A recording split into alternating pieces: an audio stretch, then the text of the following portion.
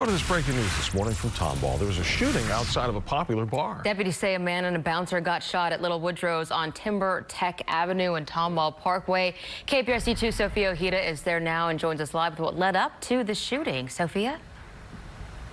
Good morning. Harris County Sheriff's Office says that it was some sort of fight, some sort of argument between two groups of people when that shooting started, and the shooter was able to get away, even with a sheriff's station right next door. And this is still a very active scene here on the 11,000 block of Timber Tech off 249. Crime scene investigators are here. They're taking pictures. You can see some markers there in the parking lot, and they're scouring the area for evidence. And people are still inside this restaurant, this bar. It looks looks like they are employees and some patrons inside. Investigators are talking to a few people here on the scene as well. We know the shooting happened just before 3 o'clock in the morning. There was some sort of fight between two different groups of people out here in the parking lot of Little Woodrow's restaurant and bar.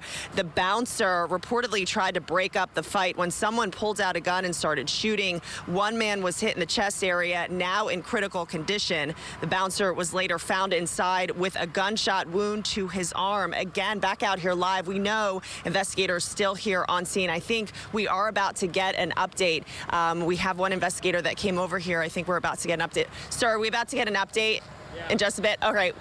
All right. Done, I'll meet up. Okay we'll get an update. Okay, thank you, sir. the shooter did manage to get away. Um, if anyone has any information, they are asked to contact the Harris County Sheriff's Office. We'll get you an update and bring you that in the next half hour or, or hour or so. Reporting live in Tomball, Sophia Ojeda, KPRC 2 News. We'll certainly check back with you, Sophia. Thank you.